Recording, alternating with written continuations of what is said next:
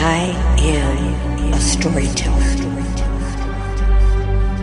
The story may be true or not, or merely the vehicle to encourage thoughts, digging deep, revealing a message not to be forgotten.